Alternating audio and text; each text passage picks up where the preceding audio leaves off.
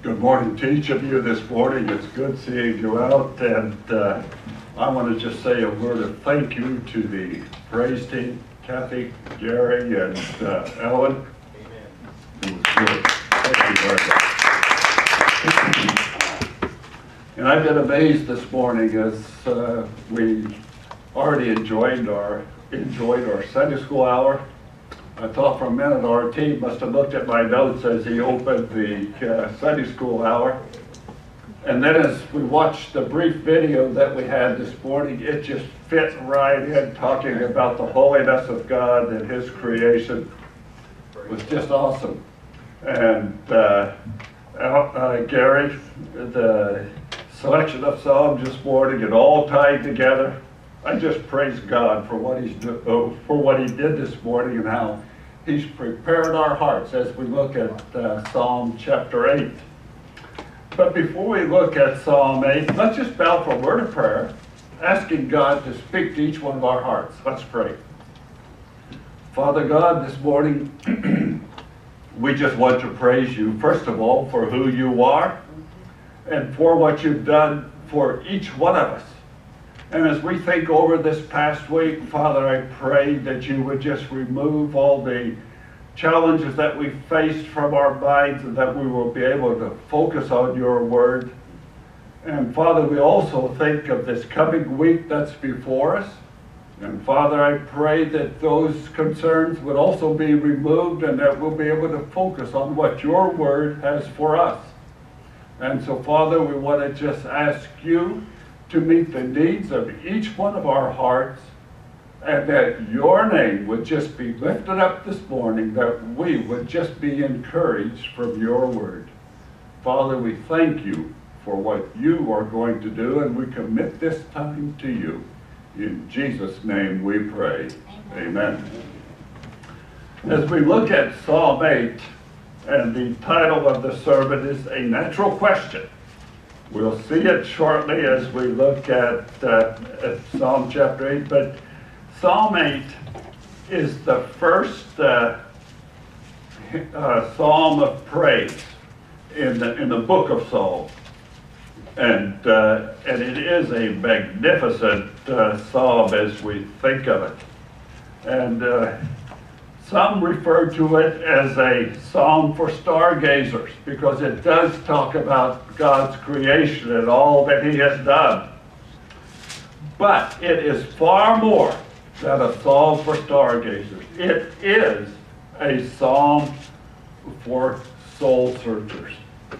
As we look at the book of Psalms this morning, I trust that each one of us will ask the question God, what do you want me to do and how do you want me to see you? It is a psalm that will challenge uh, that challenges our hearts. It is a psalm about God and our relationship to him. And he desires to have a close relationship with each one of us. That's why he sent his son, the Lord Jesus, to die on the cross of Calvary, that he might redeem us and that he might draw us into a very close relationship with him. The chief purpose of man on the, on the earth today is to bring honor and glory to our holy God. And I trust that as we look at the Psalms this morning, that that will it that it will enable us to truly give him the glory that he desires. And so as I said, it is a psalm about God and our personal relationship to Him. And then as you look at the book of Psalm, you cannot uh, read uh, Psalm 8 without thinking about Genesis chapters uh, 1 and 2. And I just want to point out before I get into the message a couple of verses from Genesis chapter 1. If you notice uh, verse 3, and notice what it says, and God said. Verse uh, 6, and God said, and these things came into being. And then verse 9 again, and God said. At uh, verse 14, and God said. And he created the, the earth by his voice, by his saying. Verse 20, again, and God said. Verse 24, and God said. God created the, the world by his spoken word. And I'm sure that as the psalmist wrote chapter 8, he was probably thinking about some of these things, about the greatness of God and his glory. And so as we look at the uh, first uh, verse, or the first, I'm going to look at the first four, word, uh, four verses, and it deals with the question of human worth. And as the psalmist started out here, he spoke, O Lord, our Lord. That phrase is a, is a powerful phrase as you stop and think about it. The word Lord, it means master. It means someone who's in absolute control, someone who's in charge, someone who has the final word, absolute authority. That's what is wrapped up in the word Lord, someone who is in control. And then notice what David says right after that. He says, Our Lord. And so as you think of what the word Lord means, the question is brought to the surface of are we really responding to him as our Lord? Lord who's in control of every aspect of our lives. Sometimes when the problems of the, uh, that we face from week to week come rolling in, we begin to shudder. But any of those problems that we face, are they too big for someone who is in absolute control, our Lord? You know, as we think of this, it makes some of the things of, of this world just kind of grow strangely dim when we think of who God is and who He wants to be in our lives. And so, as we uh, look at this, uh, at, at verse 1, there it says, Our Lord, O Lord, our Lord. And then he goes on to say, How majestic is your name in all the world, earth. And as we think of this, uh, the word uh, majestic, it is, the word majestic means indescribable, beyond our imagination. And our God is beyond description. Oh, yes, we try with our feeble human attempts. But the majesty of God is far beyond our imagination. And I think this is what David, David was probably thinking of here as he penned these words.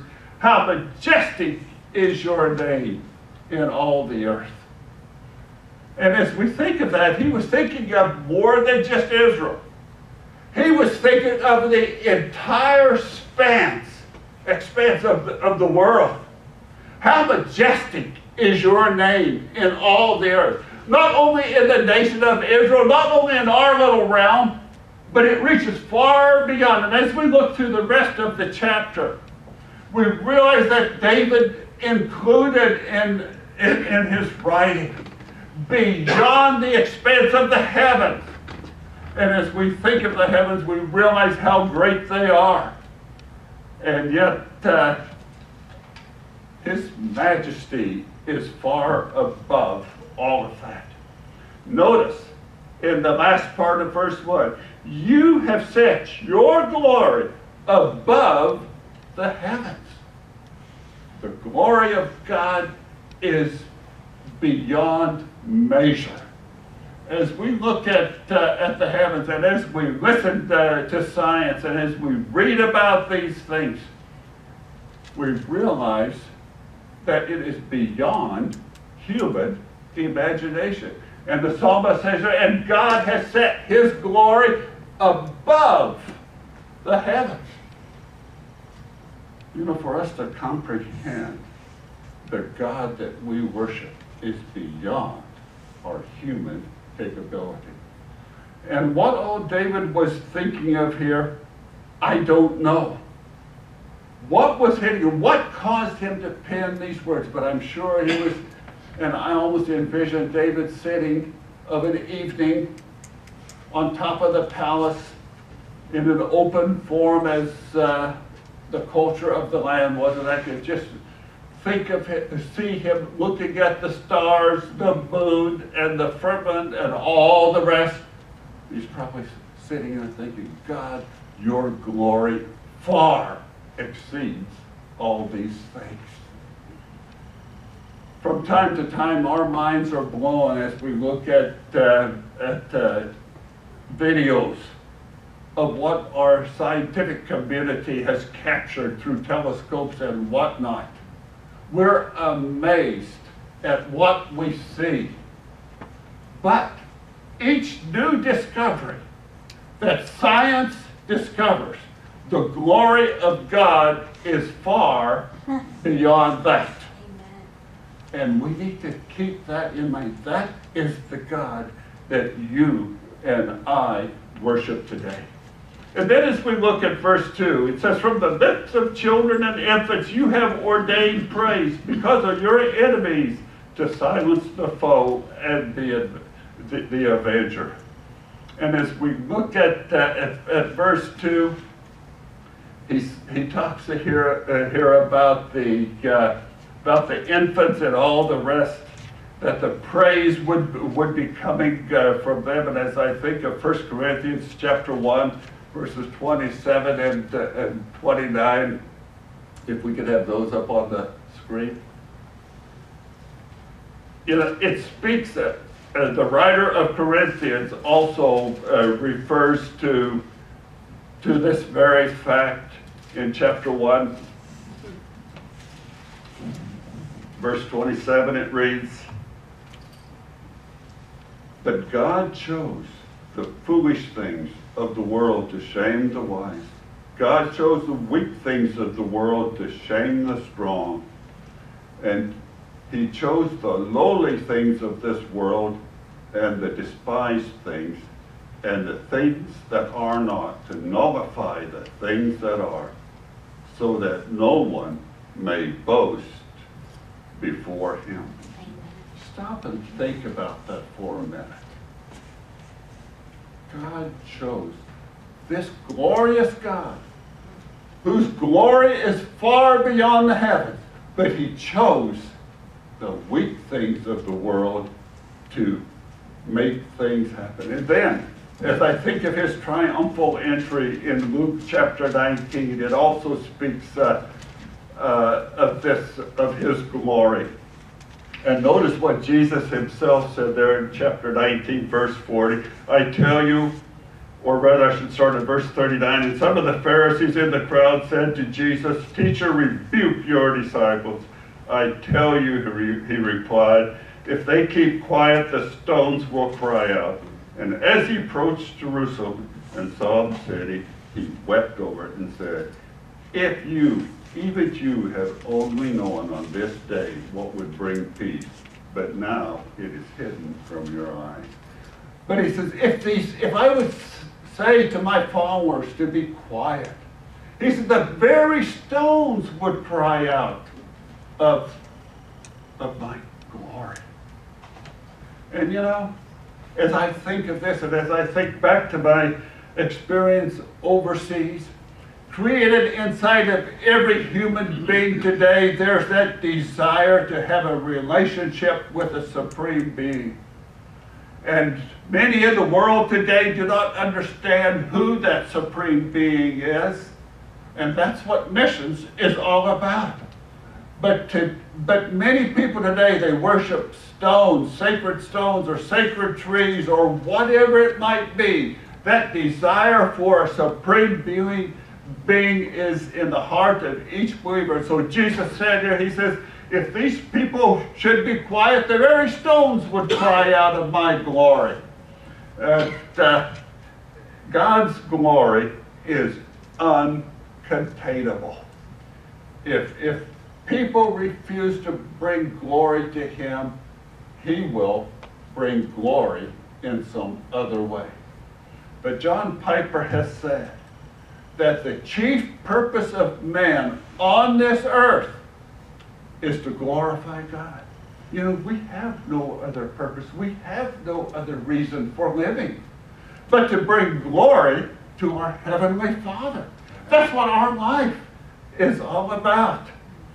And so as we think of, think of these, of the things that uh, bring glory to God, I was thinking, even as I was preparing, think of example as, God speak, as uh, the scriptures speak of the weak things, the small things of this earth that just make man stand back in praise to him. Think of the forming of a little baby in the womb and a baby that is so helpless when he's born. But that baby is an act of extreme glory to God when you think of the thousands and millions of nerve endings that are within the human body, all the intricate little things. And yet we see an infant as so helpless, absolutely unable to take care of himself. But God, in His glory, has glorified Himself by that creation. God is worthy of praise and, and glory. And it has been said that out of these frail mater- materials, God creates strength. There's a man by the name of Horne that has said, The praises of Messiah, celebrated by the church, his children, have in them a strength and power which nothing can withstand. They can abash infidelity when at its greatest height and strike hell itself dumb. Absolutely. God in, in his glory, in the glory of his creation, it silences all arguments and, and all those things. And then also as we look at uh, at, at Matthew chapter 21, verse 15, when Jesus deals uh, with, with his accusers. And he quotes uh, some of these same, same verses here. Matthew chapter 21, verses 15 and 16.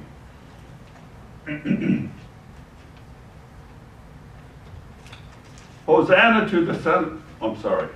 But when the chief priests and teachers of the law saw the wonderful things he did and the children shouting in the temple area, Hosanna to the Son of David, they were indignant. Do you not do you hear what these children are saying? They asked him, and Jesus replied, Have you never read? From the lips of children and infants you have ordained praise. And then notice, that's all he said. And then and he left them and went out of the city to Bethany where he spent the night. You know, in those verses, he pointed out who he is and who they were. That he is above all, his glory. And as I was uh, thinking of this, we don't know what David was thinking about as he thinks, as he was thinking of the glory of God, as he was sitting up on top of his palace in the cool of the evening. Maybe he was reminiscing. Maybe he was thinking of his experience as a, as a shepherd boy when God enabled him to kill the bear and the lion. Or perhaps he was thinking about as a as coming from guarding the sheep and and walking up or seeing his brothers as they were facing the armies of the Philistines. And he said to, to Saul, I will go out and, and, and slay Goliath. Maybe he was thinking of that experience of a small shepherd boy killing the giant. I don't know. I don't know what he was thinking of. But he recognized that God is able. Or perhaps he was thinking about the great victories. You remember as he was uh, in later years and, and the cry of the people was David or Saul has killed his thousands, but David has killed his ten thousand. He was giving God the glory as we read through Psalm chapter 8 of his majesty and all that he accomplished. And so as we look, look on through the uh, chapter here, verse 3, notice what he says here. When I consider your heavens, the work of your fingers, the moon and the stars, which you have set in place. Notice how he talks about this, the work of your fingers. But you know, as I started this message and I read those verses from Genesis 1, he didn't even use his fingers, did he? It was by his spoken word. And David is just in awe here. And then there comes that natural question in verse 4. What is man that you are mindful of him? Have you ever stopped to think about this? What are we to God? We are his glorious creation. We are the people that he sent his son to die for on the cross of Calvary. He loved us. We are, we have priceless worth to him. And doesn't he deserve to be in control of our lives? He's created us. He has bought us that we should be to his glory and to his, his praise. And as we think of, uh, think of these verses that are before us here, he says, David says, when I think of the moon and the stars which you have set in place, what is man, man that you are mindful of him? And the Son of Man that you care for him? You stop and think about his creation. And as science has revealed to us and told us that traveling at the speed of light, it would take untold number of years to reach the end of his creation.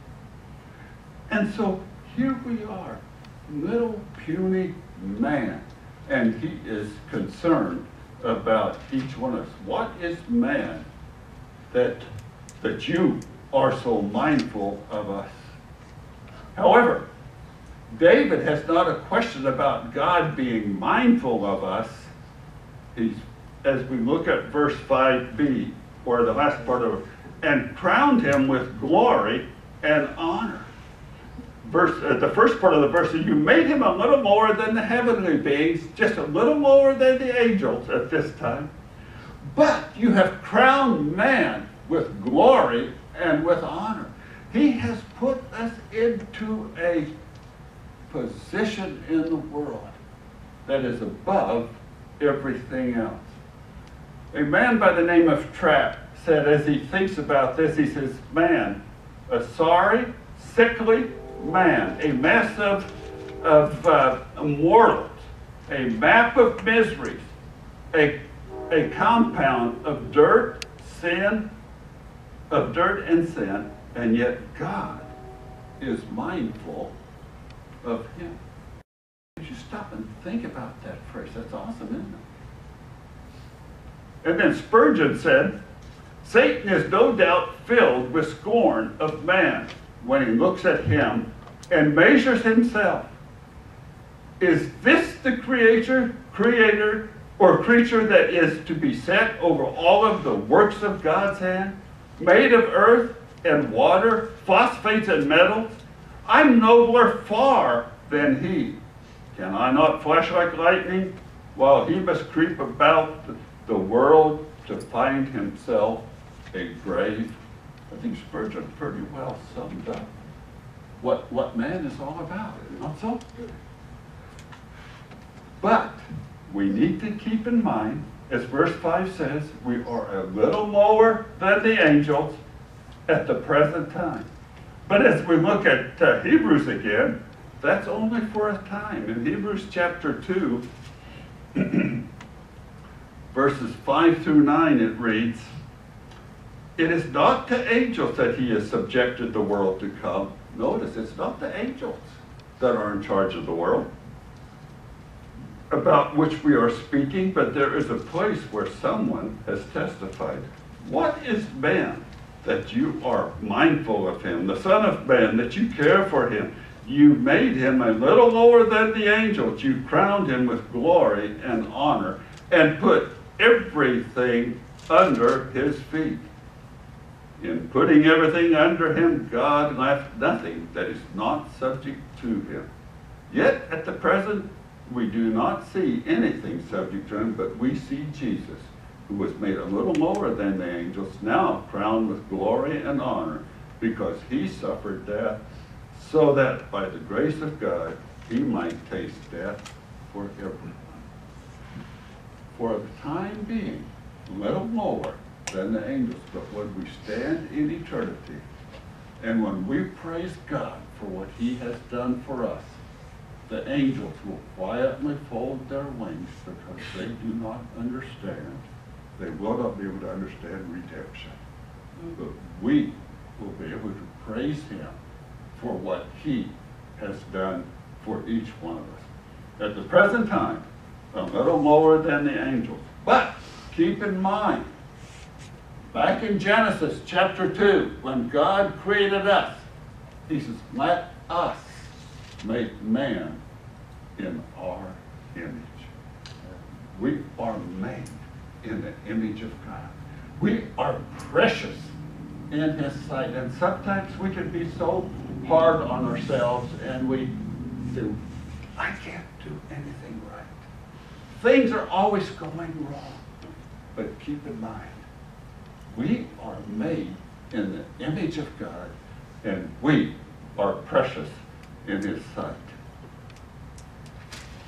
And then as we look at verses 6 through 8, notice what it says there. And you made him ruler over the works of your hands. Your, you put everything under his feet, all flocks and herds, and the beasts of the field, the birds of the air, and the fish of the sea, all that swim the paths of the city. Is there anything left in this creation that God has not put under the control of man? We are precious in the sight of God. Let's live as children of the King as we think of these things. And I'm sure that David, as he thought about these things, he, he probably shouted out in praise within his heart and giving glory to God for what he has done for him and for each one of us. But as we look at Psalm 8, I think we see three important truths. God made man, God made man something glorious, and God made man for a high and worthy destination, or destiny. And so as the psalmist closes verse, uh, I want to read verse 9, and with that I'm going to close as well. It says, O Lord, our Lord, how majestic is your name in all the earth. Our God is majestic, and he is the God that we worship today. I trust that as you look at the book of Psalms and as you face the challenges of this week before you, that you too will just bow in praise to God and say, God, how majestic you are. He is the God that we worship today, the God that is going to keep us through this coming week, no matter how difficult it is. God, let's pray. Father, we just give you praise for who you are, for what you have done for us, and for the glory that is yours because of what you have done. And Father, we just pray that each one of our hearts today will just give you the praise that is due to you. You are above the heavens. You are the God of gods. And Father, we praise you that you see fit to send your Son to die on the cross for each one of us. We give you thanks. In Jesus' name I pray. Amen. Amen. Praise the Lord. Thank you, Les. You know, and as I've already mentioned, Church of the Way prayer list, but if you notice, the very top of it, it says church. So when you pray, pray for your church.